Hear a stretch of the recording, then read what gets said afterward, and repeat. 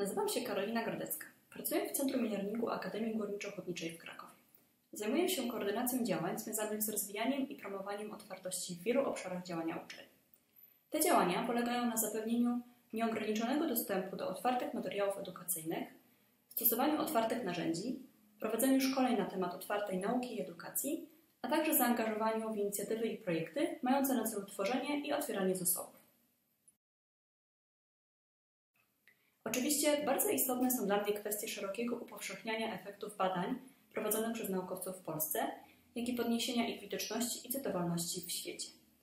Jednak ponieważ moja praca w AGH dotyczy głównie dydaktyki, Open Access analizuję właśnie z tej perspektywy. Zadałem sobie pytanie, co otwarta nauka może zrobić dla nauczycieli akademickich w kontekście ich pracy dydaktycznej. Odpowiedź jest prosta.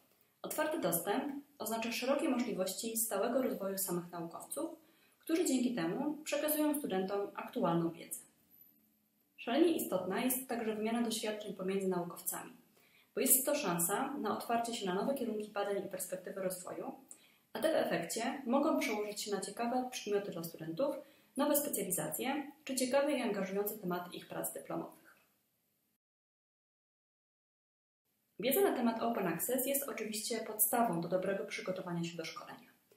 Jednak szczególnie istotna jest umiejętność popatrzenia na temat Open Access przez okulary reprezentujące uczestników naszych szkoleń. Trzeba zacząć od poznania potrzeb i motywacji naszej grupy docelowej.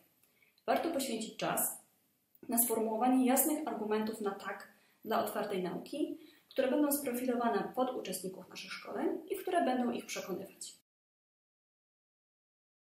We wszystkich szkoleniach bardzo dobrze sprawdzają się historie opowiadane przez przedstawicieli naszej grupy docelowej, którzy zdecydowali się na Open Access. Dlatego warto zainwestować siły w dotarcie do takich osób we własnych uczelniach. Te osoby mogą pełnić rolę ambasadorów otwartej nauki.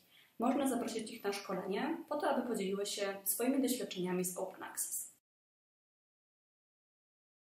Ilość informacji na temat otwartego dostępu w sieci jest ogromna. Do tego stopnia, że dla osoby, która dopiero zaczyna szkolić z otwartości, wyzwaniem może być wybór przykładów czy historii do swojego szkolenia. W takiej sytuacji można zwrócić się o wsparcie doświadczonych praktyków. Aktywna grupa działaczy Open Access jest skupiona wokół Koalicji Otwartej Edukacji. Koalicja prowadzi otwartą listę dyskusyjną, na którą można wysłać swoje pytanie. Na pewno żadne nie zostanie bez odpowiedzi. Na listę można zapisać się na stronie coed.org.pl w zakładce Kontakt.